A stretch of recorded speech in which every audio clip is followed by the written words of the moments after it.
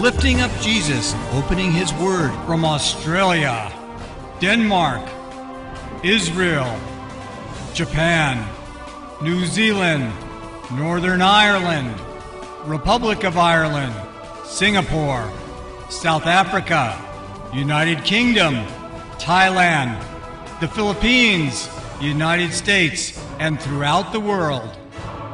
You're watching Moriel TV.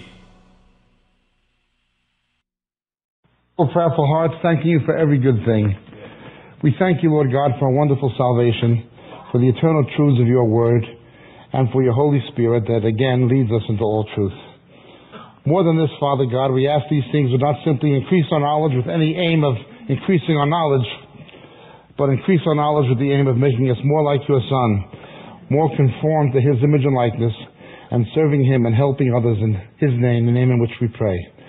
The Lord Jesus, the one who saved us. Amen. I've been asked to speak about the authority of the Word of God and heresy. The authority of the Word of God and heresy, not a subject of my choosing, and I don't understand why they'd ask somebody like me to address such a subject. Nonetheless, let's understand three basic principles before we look to our main text. Three basic principles before we look to our main text. I've already mentioned two of these yesterday. Turn with me first of all, please, to 1 Corinthians. 1 Corinthians chapter 11. Verse 19, there must also be factions among you in order that those who are approved may become evident among you. Or there must be factions among you to prove which is true. That word for factions in Greek is hereses, hereses, heresy. We misunderstand what a heresy is in English because of a translation issue. We normally think of it as a fundamentally false doctrine. It involves that, it includes that, but it's something more than that. Real heresy is not just the false doctrine itself, but the result of it. When people form a schism on the basis of it. When people form a schism or a faction or a split on the basis of a wrong doctrine. This can lead to other things such as the sin of party spirit, partyism, and so forth. But the idea of heresy in the Greek language, in the original Koine Greek, it's not simply the false doctrine. What makes somebody a heretic is not simply that they have a false doctrine, a fundamentally false doctrine. What makes them a heretic is they have the false doctrine, and if you don't agree with them, you're on the outs. They're forming a schism on the basis of it. This is heresy. This is heresy. Let's go again and look at this closer. There must be heresies among you to prove which is false. God allows these things to happen to separate true believers from false believers. It is not a good thing for true believers to be divided from each other. But heresy is designed to bring division between people who claim to be Christian. Heresy is a basis of division by God's own design. We cannot be united with heretics. Now, the only way you can be united with a heretic, by definition, is to take on board their false teaching. If you don't take on board their false teaching, the schism will be automatic. Let's look at the second verse. Hebrews chapter 4, verse 12, please.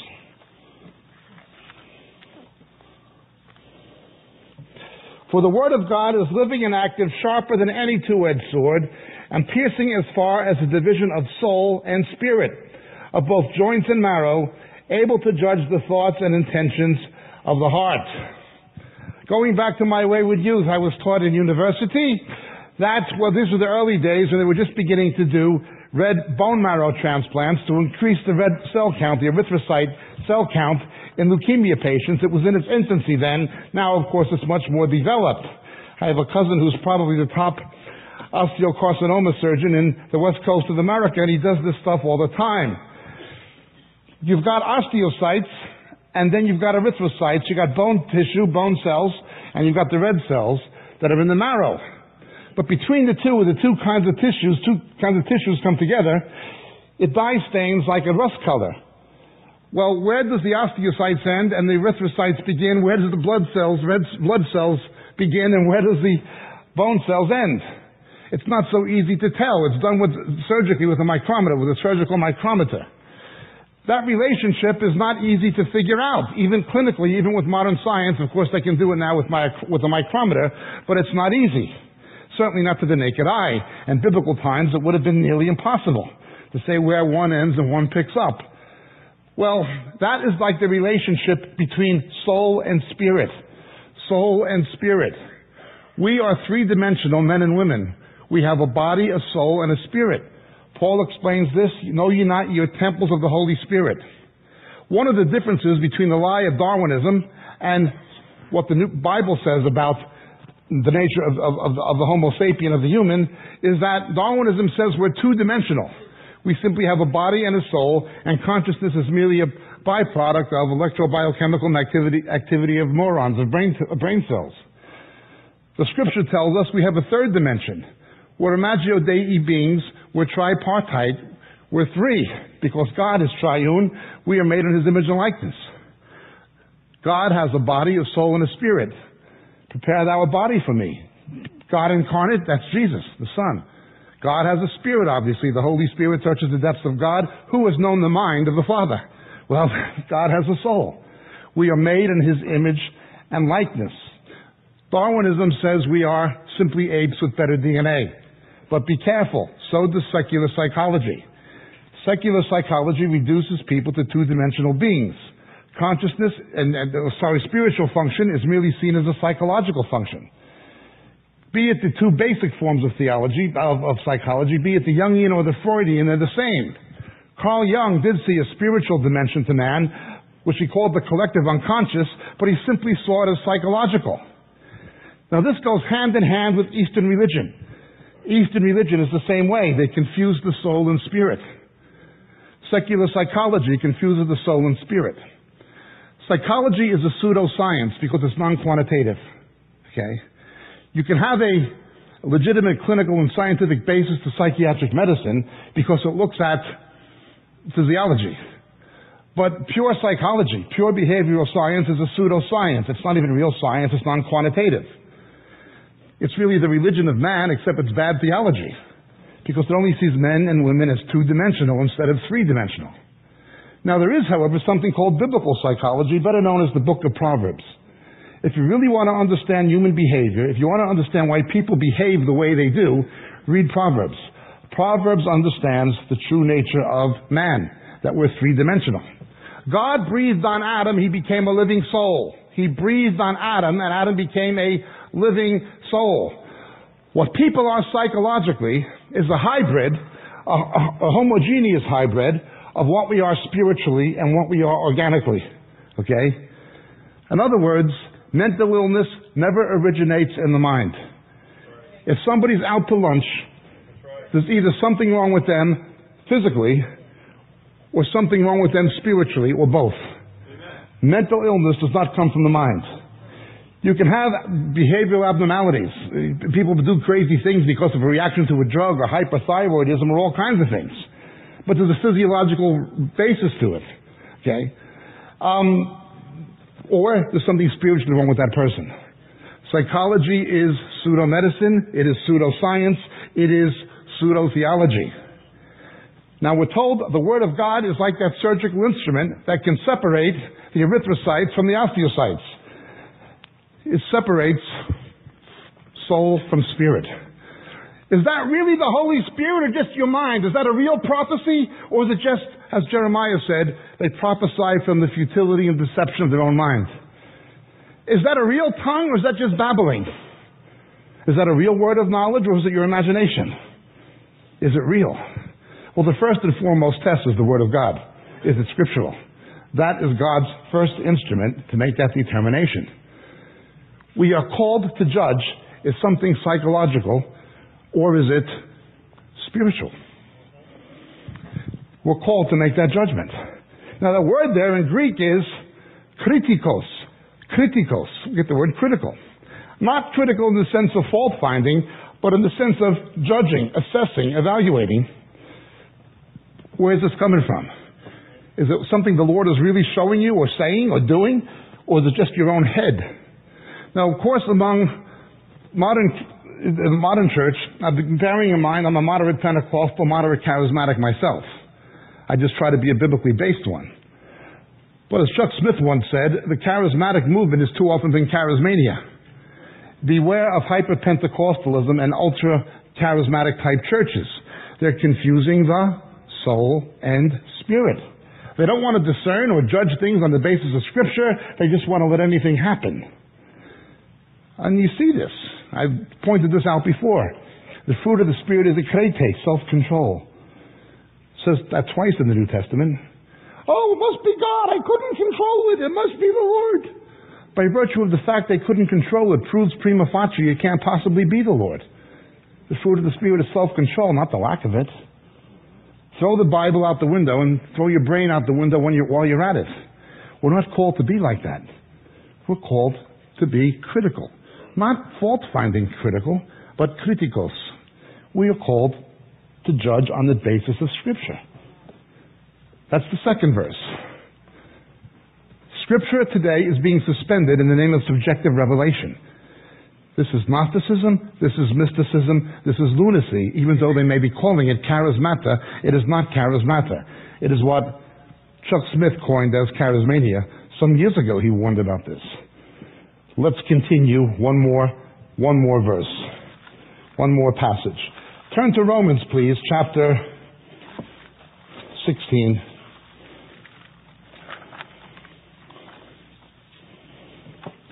Verse 17.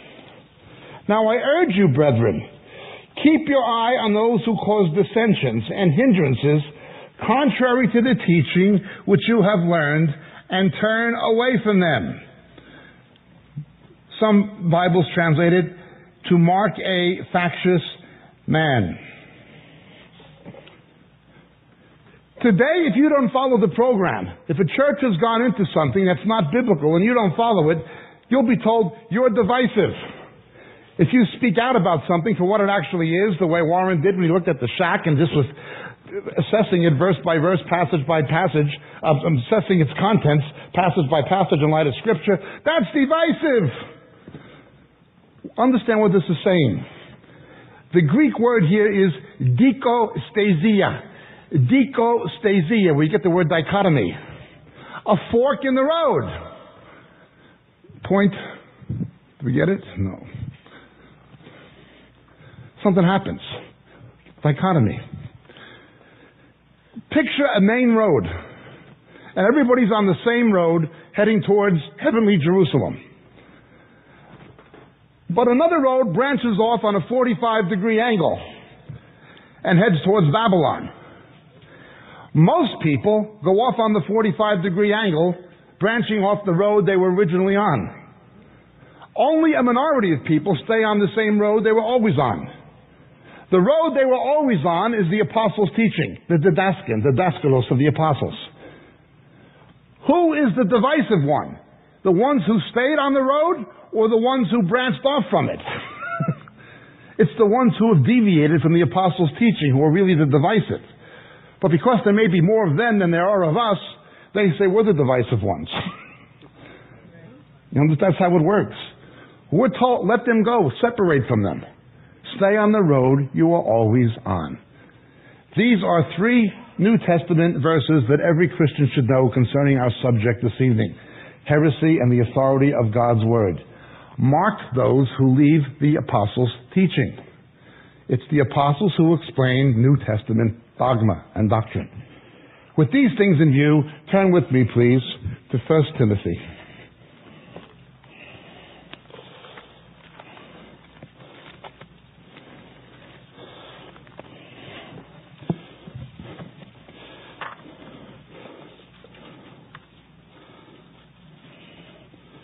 This is not an easy passage to understand unless you understand the original underlying Greek language. The problem is the underlying Greek language is difficult to translate. But the Spirit explicitly says in the latter times, Tode numa, retos lege. The Bible is the doctrinally inspired Word of God. This, however, is not the doctrinally inspired Word of God, Paul is saying. This is just the Word of God. It's as it were, say it just like this, retos. It's like a dictation. Most of Scripture is not like that. Most Scripture is the Word of God and the Word of man. Think of Jesus. He's the Word incarnate. He's the Word made flesh. Jesus is fully human and fully divine. He's 100% God, 100% man. So the Scripture is 100% the Word of God and 100% the Word of man. The book of Isaiah is 100% the word of Isaiah, Ishayahu Hanavi, and the book of Isaiah is 100% the word of God. The Gospel of Matthew is 100% the word of Matthew, but it's 100% the word of God. The Gospel of Luke is 100% the word of Luke, but it's 100% the word of God. You can see the human element in what the authors wrote. Okay? John was writing to Jews. He was very concerned about the festal background of, of the Gospels. You see the human element in his emphasis. Luke was a physician. He had an acute interest in the healing miracles of Jesus. You see the human element. Well, Paul was a rabbi. He used rabbinics. He used Kal. He used Binyan Ab Mishtei Ketubim. He used the Midot of Rabbi Hillel in his writings. You see the human element and human background sanctified to God's service, incorporated into the writing under the inspiration of the Holy Spirit, but the text itself, although written by people, its content is still God breathed.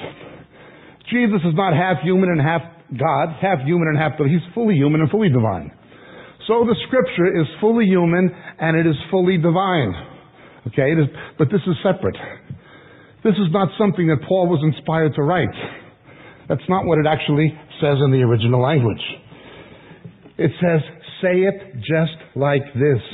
Tode numa retos lege, oti en Ustirios kairos apostezantai, tines tes pistoes. In history, at a point in history, something is going to happen. Say it just like this. It's like it's being dictated by the Holy Spirit.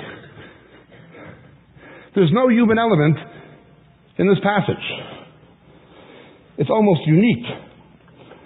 A time will come in history when there will be an apostasy, a departure from the truth. This apostasy is also spoken about in 2 Thessalonians chapter 2. Those who suggest, and there are some good people who suggested, that the apostasy in 2 Thessalonians chapter 2 is actually the rapture, is not plausible. Using cotexts like this one, speaking of the same thing, we see it's talking about a falling away of those who profess to be Christians. They will depart from the truth. Some will depart from the faith. The word is pisteos here, the faith. But they will pay attention to deceitful spirits, to doctrines of demons. Prosecontes pneumatasin plenois kai the daskales demonon. When these people depart from the faith, they will come under a demonic influence. An influence that is really demonic. So while scripture is God breathed, what these people are teaching is going to be, as it were, demonically breathed. That's quite a thing. Now here we have a term that most people don't usually think of. There's actually two words for Antichrist in Greek. Most of us know about Antichristos, that which is in place of Christ or against Christ, but in place of Christ, Antichristos. On the other hand, NRK kai logos, in the beginning was the word, Jesus is the logos. The Devar Adonai in Hebrew, the Memra in Aramaic, he's the logos. But you have a pseudo logon, a false word of God. Peter warns of this, and so does Paul. This is Antichrist. Something that tries to mimic the Word of God. That will not be Holy Spirit inspired. It'll be demonically breathed, as it were. And people who claim to be Christians will get sucked up in it. But then we're told about these people. And hypocrisy. These are people who will be hypocrites. Pseudo logon, a false word of God. These people will depart from the truth, propounding doctrines of demons, demonically inspired doctrines. There will be a pseudologon. Jesus is the Logos, you put a false Logos in place of the true one. Every cult, every false religion is a pseudo-logos. The Koran is a pseudo-logos. You're attributing doctrinal authority to the Koran. A Roman Catholic papal encyclical is a pseudo-logos. The Talmud is a pseudo-logos. The Book of Mormon is a pseudo-logos. There may be elements of truth in it. They may contain certain true statements, but those things are only what Peter calls parasogzusin. They put truth next to error. They'll have elements of truth to camouflage the lie. It's all demonic. It is all demonic. Satan is much too clever to tell anybody a straight lie. He will use elements of truth to masquerade what it really is. Say it just like this, Paul. Use these words. The Spirit explicitly says, put it in these words. A time is going to come in future history when people who claim to be of the faith are going to depart from it, these people are going to be hypocrites and they're going to come under a demonic influence. And they're going to put out teachings that they're going to call the Word of God. But they're actually Antichrist, pseudo-logos. Then he continues with this. It's quite a thing. By means of the hypocrisy of liars, seared with their own conscience as with a branding iron. The human conscience is the mechanism through which the Holy Spirit convicts of sin. The Greek term is eklenktos, the eklenktic of the Spirit. Unless somebody is convicted of sin, unless an eklenktos takes place, they're not going to be saved. They're not going to be regenerate. They're not going to be born again. If there's no conviction of sin, somebody will not be born again. Now again, I'm only stating a fact in the purpose driven life, and I'm only quoting from it directly, Mr. Rick Warren writes the following, and I'm only quoting him. When you see an unsaved person, an unbeliever, whatever, he doesn't use unsaved person, but when you see somebody living immorally, when you see them into substance abuse and living immorally, don't tell them they need to repent. Tell them they need Jesus in their life. After Jesus comes into their life, then he'll clean them up. Biblically, unless somebody repents, Jesus isn't coming into their life. It is a false gospel. It is a formula for false conversion. This is sinister. This is in fact quite evil. Now the conscience is again the mechanism by which conviction of sin takes place. You lose your temper with your wife, your husband, and the Holy Spirit says, you, you know, you shouldn't have done it that way. That's a conviction. We're convicted through our conscience. When an unsaved person is convicted of sin, it's through their conscience. These people who the Holy Spirit tells Paul they're hypocrites. These people are hypocrites who will depart from the truth in the last days, come under demonic influence, produce a false word of God. Their conscience will be seared as with a branding iron. In other words, their conscience becomes dysfunctional. When the conscience is dysfunctional, no conviction of sin takes place. They become unconscionable. They can do the most unspeakable things with no sense this is wrong. And we've seen this. There's a case where a money preacher from the United States, a well-known one, came to Great Britain, and he went to unemployed people who came to his crusades, poor people, unemployed people, and he was selling Holy Ghost miracle quartz to take away debt for $40, 25 British pounds.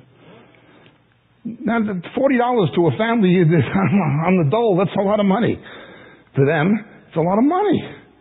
How can you take money from poor people? I just got back from the Philippines. We were working with Roger Oakland with these feeding programs for these kids who scavenge garbage heaps, which is where they live, trying to scratch out a meager subsistence. How can you go to a third world country preach prosperity and take money from those people and then come back to California on a private jet. No conscience. Their conscience no longer works. Their conscience has become dysfunctional. Someone with advanced emphysema, they go into acute pulmonary failure. That's it. They're not going to breathe anymore unless it's assisted. the respiratory system no longer works. Same thing, these people, their conscience no longer works. They can't be convicted now. Now this relates to something the scripture calls the spirit of error, but I won't go into it now. When people go into the pseudo logos, when they get another word of God, when they begin teaching things doctrinally that they misrepresent as being from God, they're demonically inspired, they're total hypocrites, but they have no conscience about it. Warman was going on last night about the shack. This is exactly what it is. This is exactly what we're told to look out for. It's exactly this kind of thing. Let's look about some of the characteristics of these men. Now, the conscience is seared, but not just seared, it's seared with a branding iron. A branding iron is a seal of ownership. We have the seal of the Holy Spirit. Can you imagine if somebody becomes so backslidden or so departed from the faith that they're branded with the seal of a demon? A demon owns their conscience? This is assuming they were ever Christians to begin with, which is a big assumption in some cases, I grant you. Men who forbid marriage and advocate abstaining from foods which God has created to be gratefully shared up by those who believe and know the truth. Forbidding marriage. Before he was a believer, supposedly a believer, I don't know if he was, Augustine of Hippo was in a Gnostic Greek sect called Manichaeism. Manichaeism. The Greeks were dualists. They believed everything physical was bad, everything spiritual was good. This is some of the background of Acts 17, where Paul's debating the Epicurean and Stoic philosophers at the Areopagus in, on Mars Hill in Athens. If it's physical, it's bad. If it's spiritual, it's ethereal, it's good. Now, the Bible doesn't teach that. The Bible teaches the physical is good as God created it. It's just become fallen a Greek Platonist would have no problem with John chapter 1. In the beginning was the Word, the Word was with God, the Logos. He'd have no problem with the Logos. Until you got to verse 14. The Logos became sarx, the Word became flesh, then they'd freak out. Because that's physical, it's bad. Augustine brings this into Christendom. Well, because human reproduction is a physical act, it's bad. It's more spiritual not to do that. Now, God created the male and female and said it was good.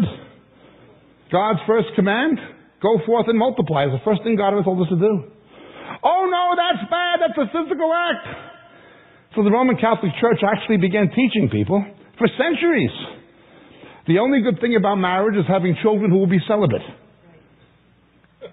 Holy matrimony is simply a necessary evil to populate convents and monasteries. That's what they taught. You want to serve God? Become a monk or a priest or something like that? After the Reformation happened, for all of its faults, people had a more biblical worldview, and they began to see, do all things for the glory of God. A mother taking care of a baby, that's God's work. A baker baking bread, that's God's work. A physician looking after sick people, that's God's work. Do all things for the glory of God. Every Christian is a priest. Every Christian is a minister. Oh no, it begins in the patristic era, but it gets worse. Now remember, when people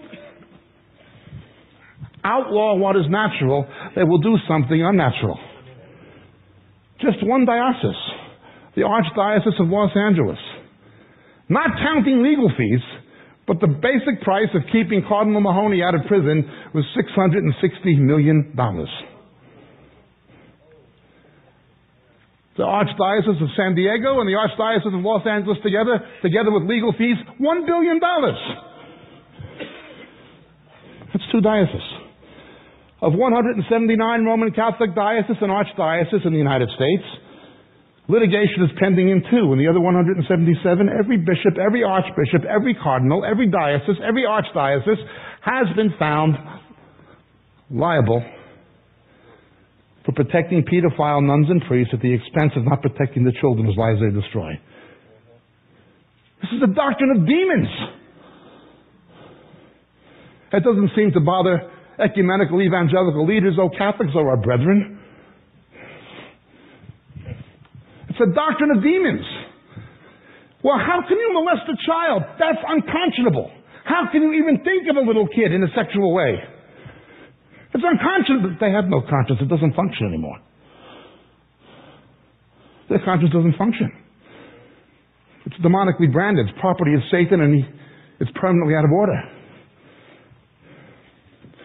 But then they go into the dietary legalism.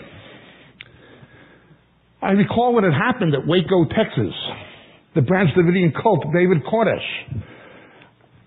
When that happened, I was shocked, as were many people, but I was shortly afterwards in upstate New York in a snowstorm. We, we had to cancel the meeting, but I was with the pastor, and he printed 129 pages off the internet for me of accounts of people who'd been in that cult who left it before they shot it out with the FBI. I read it through 129 pages. I couldn't believe it. This guy was mad.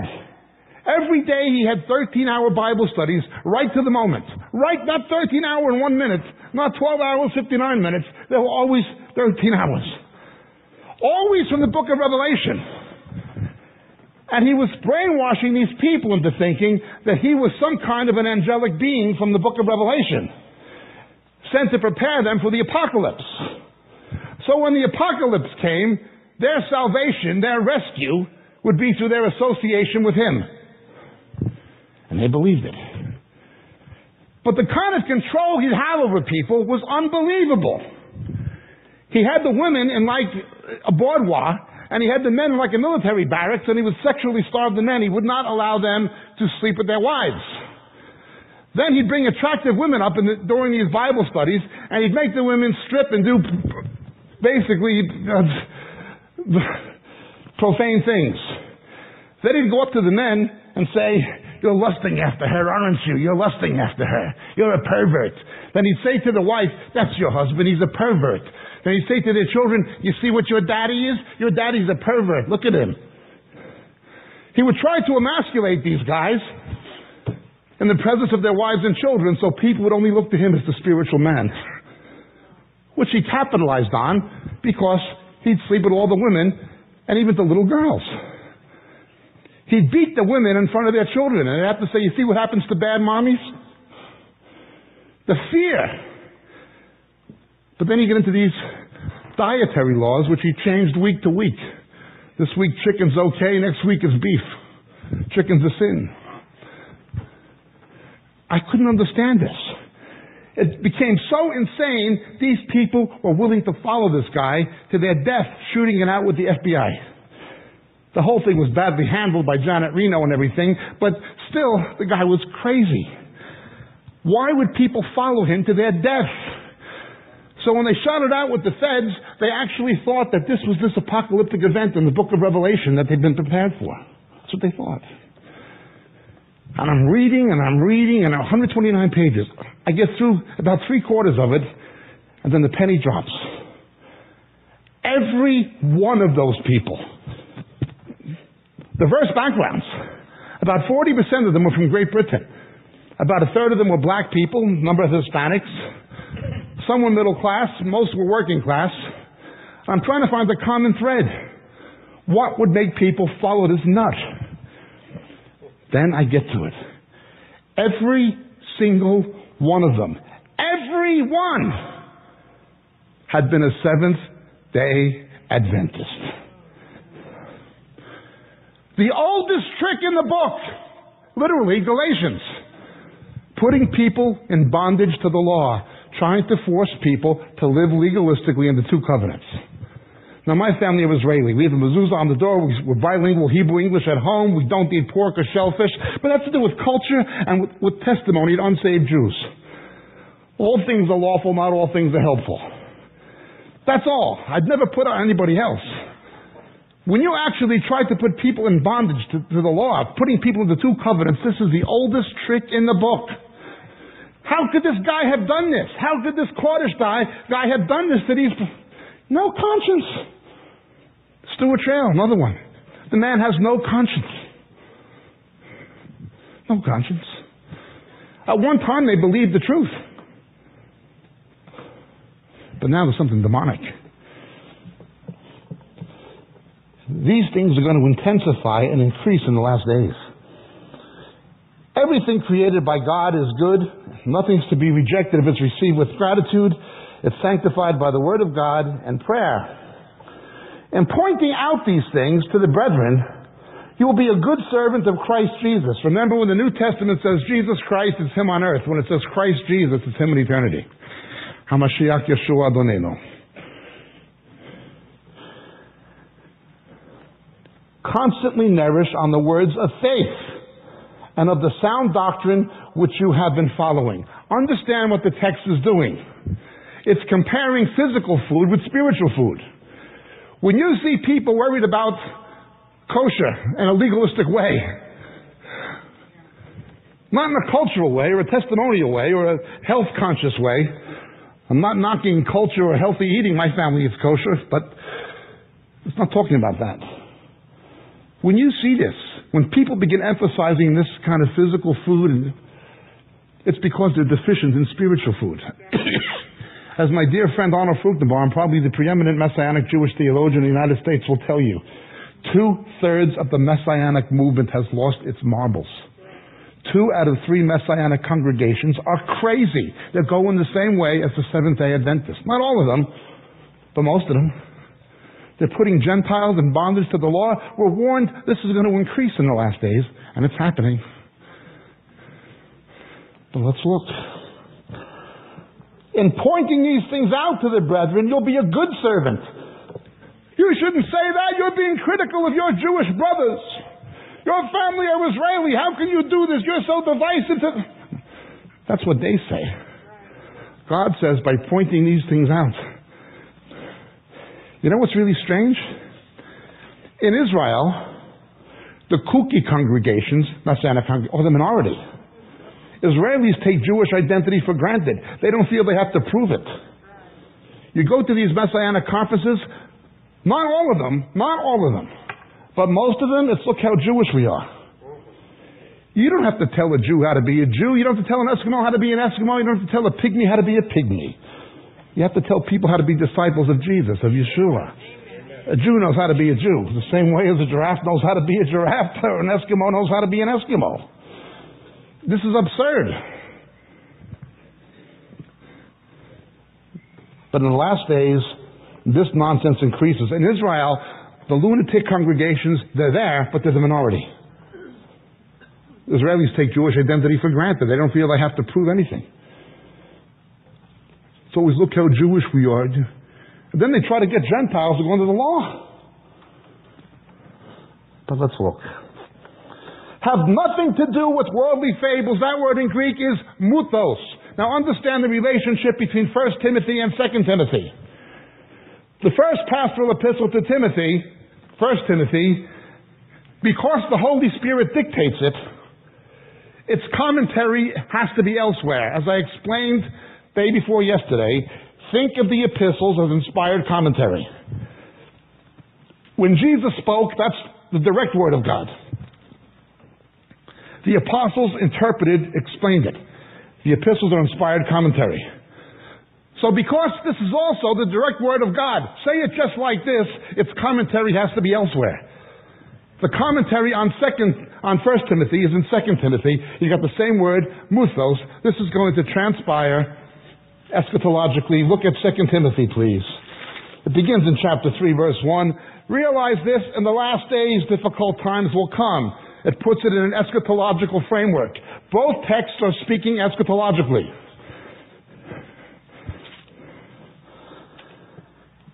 We're told in verse 13 of chapter 3, evil men and impostors will proceed from bad to worse, deceiving and being deceived.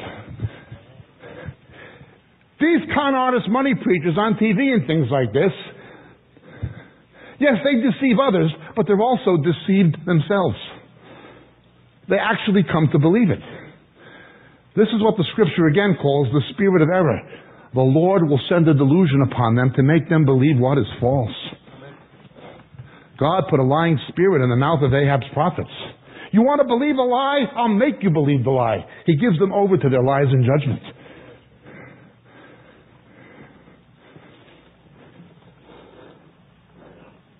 But then it continues. We're told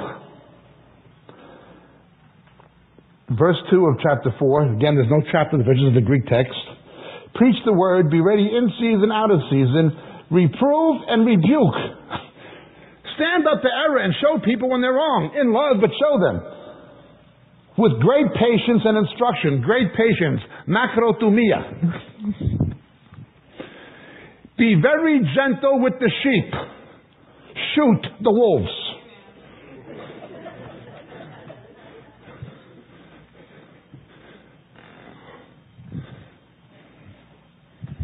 Understand the difference. John 10, Jesus tells us there's three kinds of pastors. There's good shepherds who are like Christ, who love the sheep, who actually lay their life down for the sheep.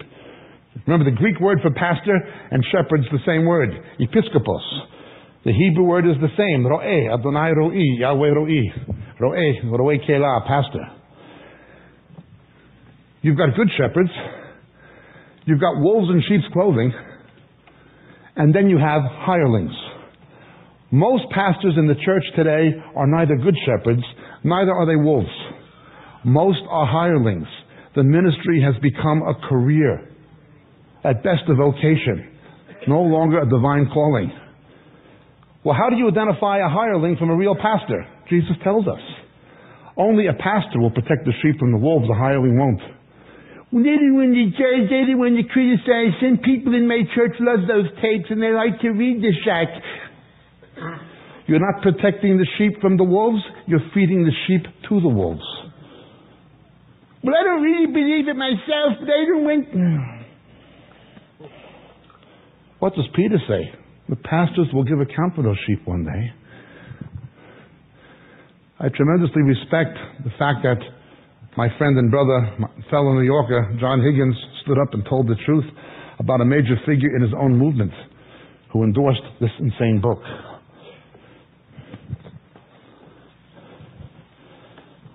Let's look.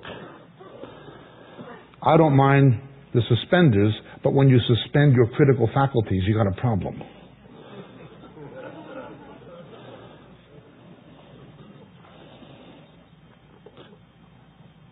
For the time will come in verse 3 when they will not endure sound doctrine. They will not put up with biblical doctrine, the teaching of the apostles. But wanting to have their ears tickled, They'll accumulate for themselves teachers in accordance with their own desires who will turn away their ears from the truth and turn aside to myths. Remember again Romans 16, 17, dichostasia, they turn aside. The word there is mythos, mythos. Same word. This is explaining 1 Timothy. These unconscionable people, these false teachers with the seared conscience who are demonically inspired, will turn their ears aside to myths. Understand something. There is a market for their product. These crazy books, these nut job counterfeit revivals you see in, in Lakeland and Pensacola and these things. And I say this as a Pentecostal. These things would not happen if there was not a market for it. Satan will always be able to raise up a false shepherd, a false teacher, a false prophet. But if people wanted having itching ears,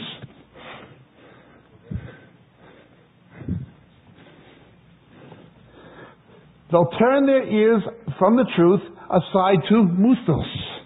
Same as it says in 1 Timothy. What are these muthos? When you stop believing biblical doctrine, when you stop believing apostolic teaching, when you stop rightly dividing the Word of God, expounding Scripture, when you abandon all expository approaches to the illumination of God's Word, when you give up exegesis, you're going to substitute it with myths. A pseudo logon. The prayer of Jabez. Not that there's anything wrong with the prayer Jabez prayed in Chronicles, but they turned it into a formula incantation. This is nuts. Or the God chasers. The scriptures where God's used to be. We have to go to where He is now. Or some of the other books we've been hearing about. These are myths. When you stop believing the logos, you'll get a pseudo logon. You stop believing the truth, you're going to substitute it with the myth. That's what it's saying. Let's go back to 1 Timothy now.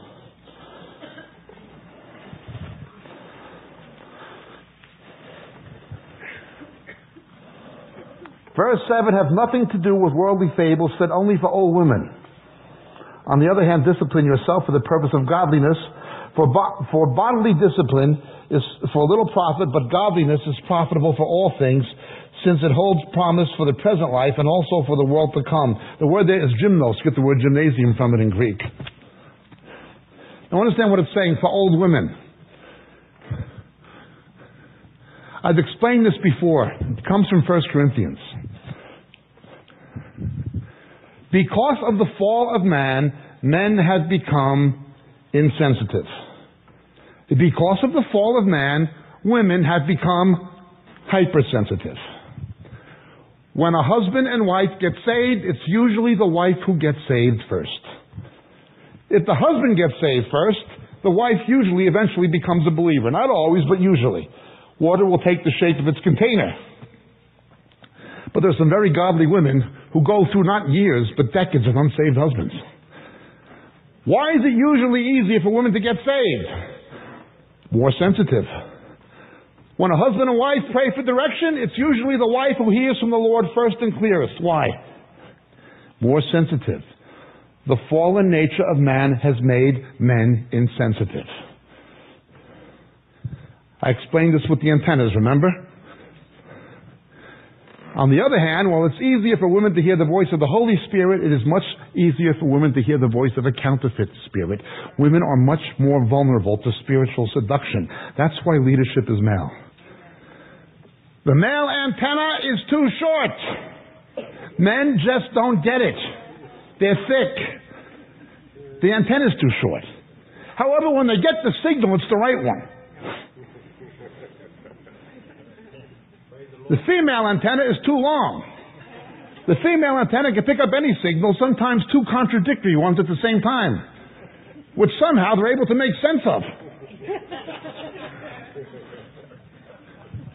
The male antenna is too short because of the fall. The female antenna is too long, but you put them both together, you'll have a wonderful reception.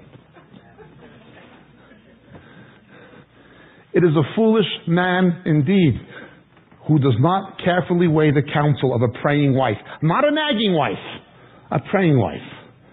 If a woman nags and simply sees her husband as a ticket to get what she wants, or she's driven by insecurity and she nags, then shut off the radio. I don't want to hear it. Anything right she has to say as God's instrument to speak into his life or into that marriage, he's not going to hear it because she's driving him nuts. A praying wife. It is a foolish man who does not carefully weigh the counsel of a praying wife.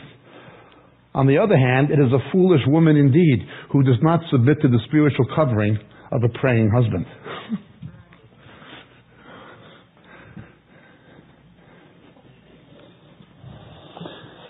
Now again, he's comparing bodily discipline with spiritual discipline.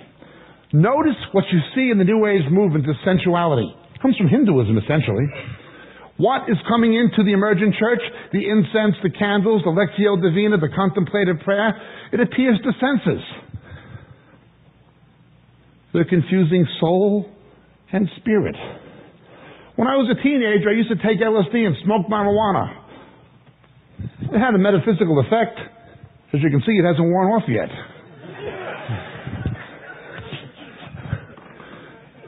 there are other doors into the spiritual realm other than Christ, but they're demonic.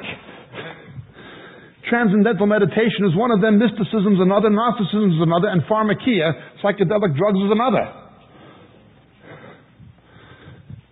Be careful of things which use sensuality or misrepresents sensuality as being spiritual. This is Gnostic, it is Hinduistic, it is New Age the emergent church, contemplative prayer, the Lectio Divina, that's what it is. They actually see in their books their ideal. It's not going back to the book of Acts or even to the church fathers. They see the ideal age, the third to the eighth centuries, where you have the mystics and the monks and things like this. That's their ideal of spirituality. Well, that was the age where paganistic influences, basically through Alexandria, particularly through Alexandria, came into Christendom the Buddhists had monks long before Christians. You had Christians wanting a deeper spiritual life and the carnality that came into the church after Constantine. They met the Buddhist monks, so they went to the desert and make monasteries and thought they could be more spiritual. The Celtic monks, monks did the same thing in Ireland. But it's based on sensuality to a large degree.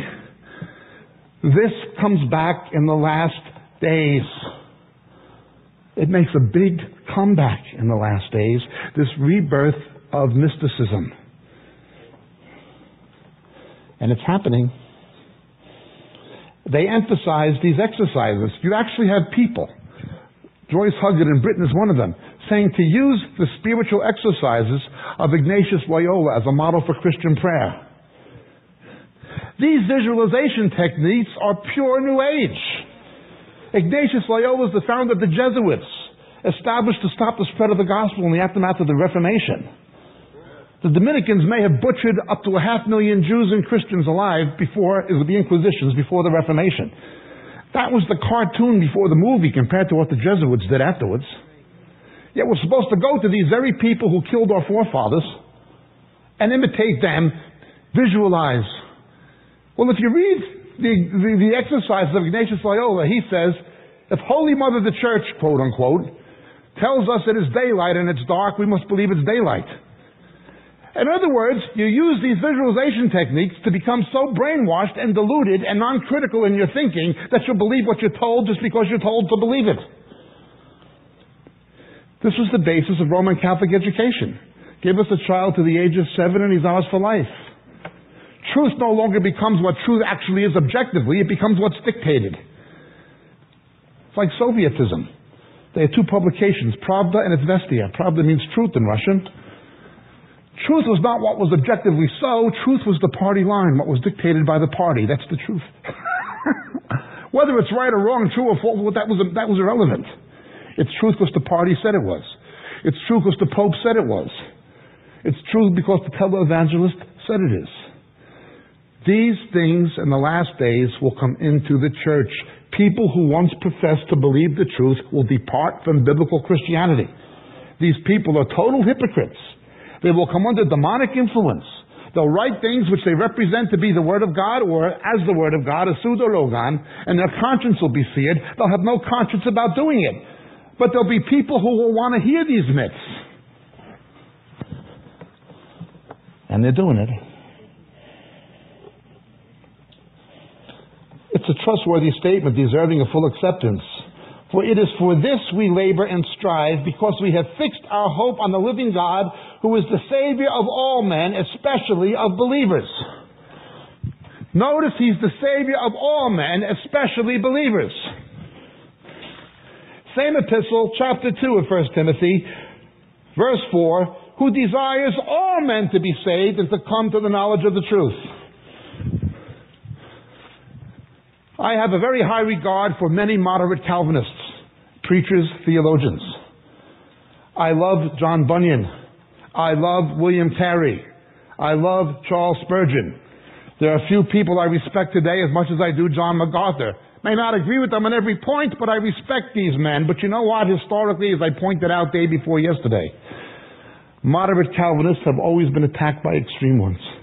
Spurgeon was, William Carey was, Today, John MacArthur is. Be careful of those people who say he's not the Savior of all men. He only saved the elect. It's limited atonement.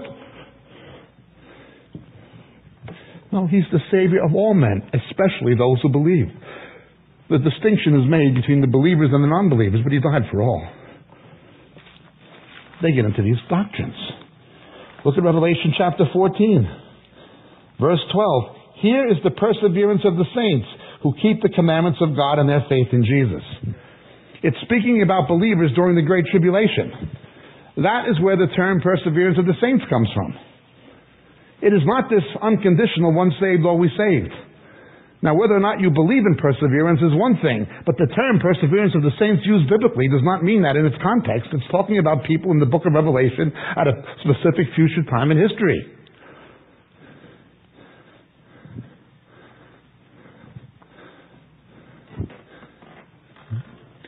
One of the things that's making a big comeback now is hyper Calvinism and its adjuncts. Covenant theology, which is inherently replacementist, inherently supersessionist. Again, many moderate Calvinists don't believe this, but you know what? If you don't believe in infant baptism, if you don't believe in patristic authority, the church fathers as doctrinal authority, if you don't believe in Erastianism, the state church, and if you don't believe in covenant theology, that God only ever made two covenants, one with Adam and one with Abraham, real Calvinists wouldn't say you're a Calvinist. In the 16th century, you would have been called an Anabaptist. And the Catholics and Protestants both would have killed you. John Calvin did not define Calvinism. It was defined by the remonstrance of Dort by Beza and his followers. Just think, if you don't believe in sprinkling infants, you hold to believer's baptism, they would have called you an Anabaptist in the Reformation. The Protestants would have killed you as fast as the Catholics. They did. Lutherans, Zwingliists.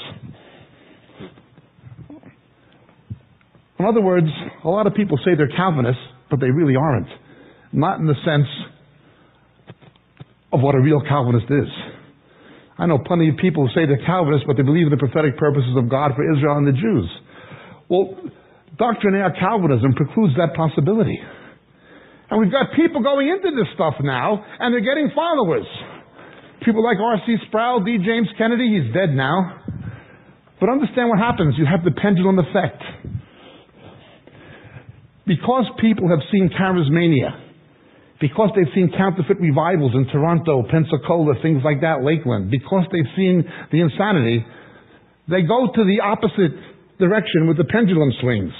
They think the, the diametric 180 degree opposite of what they came from it must be right.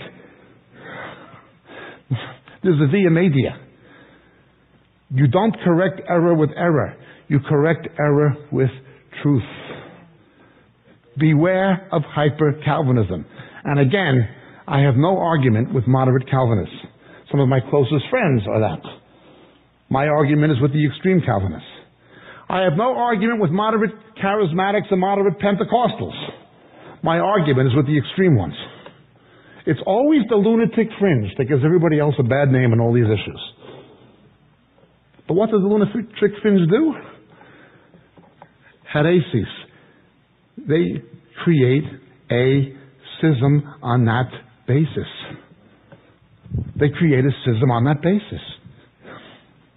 You're either with us and take on board all of our beliefs, or you know, goes right back to Romans 16, 17. And so it goes. Let's look again at 1 Timothy chapter 4. Verse 11, prescribe and teach these things. We're not told or encouraged or exhorted. It is imperative. Prescribe and teach these things. Let no one look down on your youthfulness, but rather in speech, conduct, love, faith, and purity, show yourself an example of those who believe. This is very similar to what God told Jeremiah. God does not reckon age biologically. It's not based on birth, it's based on second birth. How long since you've been saved?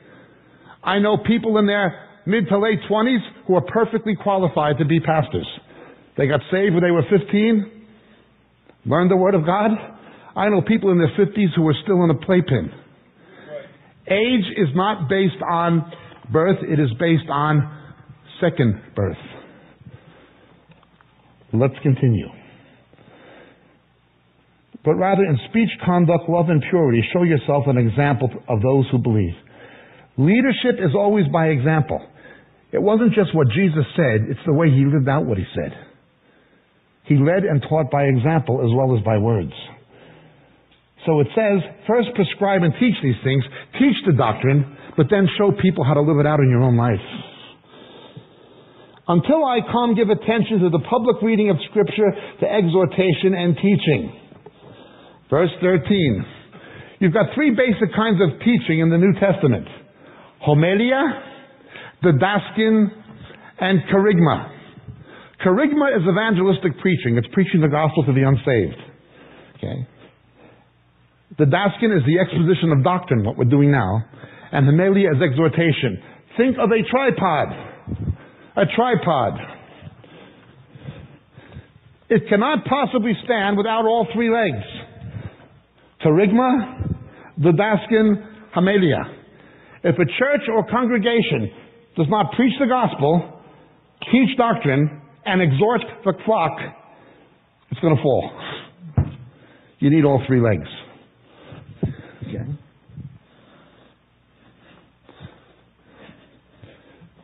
Let's look a little bit further. John Wesley, in verse 13, he said at the end of his life, at the end of the 18th century, Methodism is already declining because people are negating the reading and exposition of Scripture.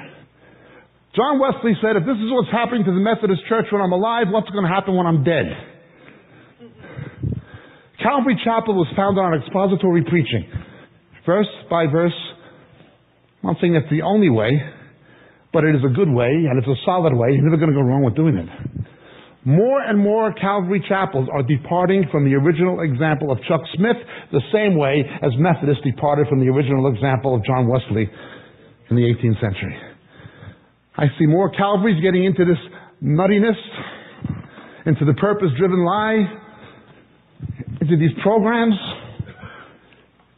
They're getting away from Scripture. When you depart from the truth of Scripture, you wind up believing a myth. And so he tells him, Do not neglect the spiritual gift within you, which was bestowed upon you through prophetic utterance and with the laying on of hands by the presbytery. Another error that comes into play in the last days is cessationism. Oh, these gifts were only for the early church. We don't need them now.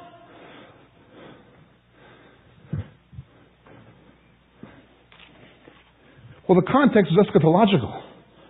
We are warned against people who teach against charismata, the same as we should warn about people who teach charismania. We should warn about those who teach against charismata.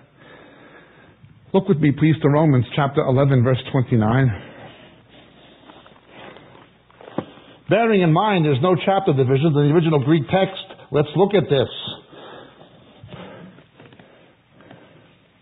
For the gifts, charismata, the gifts and calling of God are irrevocable. Again, take out the 12 for chapter 12. It's not there in the original text. Romans 9, 10, and 11 speaks about God's eternal election of Israel and his prophetic purposes for Israel salvifically in relation to the church. That's Romans 9, 10, and 11. When you get to chapter 12, look what it says.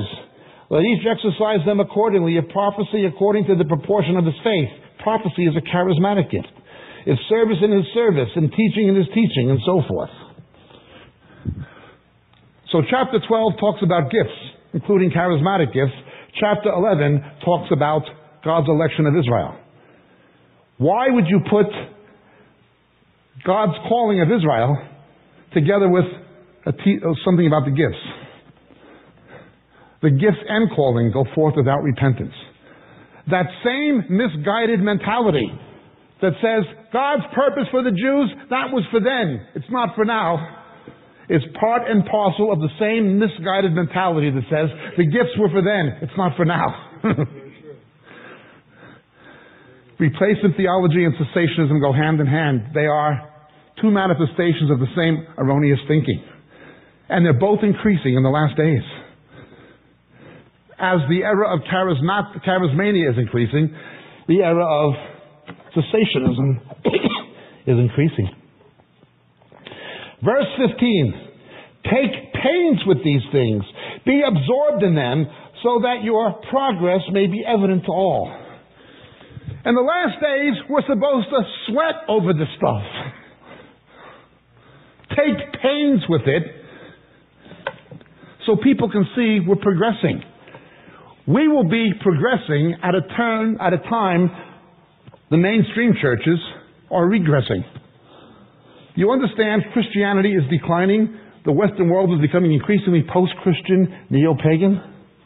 We say in Hebrew, it's going down. It's, it's in regression.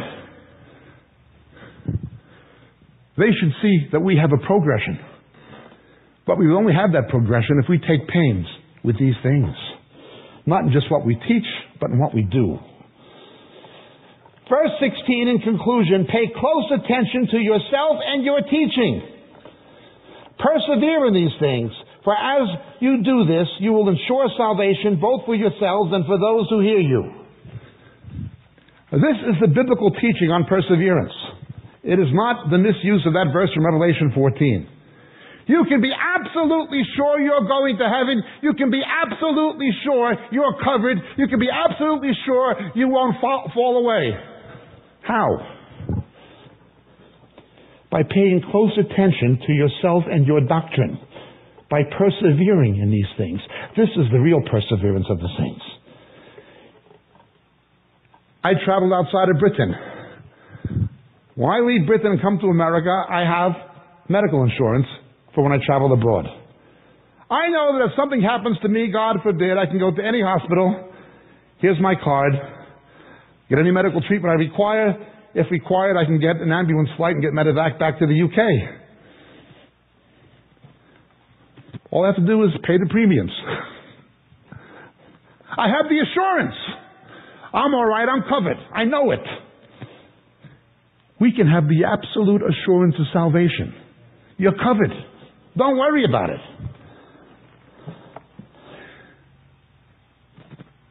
Pay close attention to yourself and to your teaching. Watch your conduct and watch your doctrine. If someone's conduct goes off, they will begin going off doctrinally. When you see somebody go off doctrinally, they've walked away from their relationship with the Lord in terms of what it should be. When people go off spiritually, they will go off doctrinally. If people go off doctrinally, they will go off spiritually. You think about these guys, you know, it's happened too many times. The pastor runs off with the church secretary. I, I can't tell you how many times I've known things like that happen. Everybody's shocked and surprised. This guy didn't wake up one day and decide to take off with a babe and throw his life and his ministry and his career and his reputation out the, and his marriage out the window. It was a simply a coming to the surface of something that had been wrong in that guy's life all along. Okay. But you notice when people begin to go off, they begin teaching flimsy doctrines. They begin compromising on issues doctrinally and otherwise. Why are they compromising on doctrine? Because they're compromising on morality, ethics, integrity. When people go off doctrinally, they're going off spiritually. That will eventually express itself in some moral way, some moral flaw. Likewise, when people begin to go off spiritually, their doctrine will go off. Wrong doctrine will follow wrong conduct. Wrong conduct will follow wrong doctrine. These things have always been true. They are general truths. But in the last days, they become acute truths, paramount truths. This is what the Spirit explicitly says about the last days. God bless.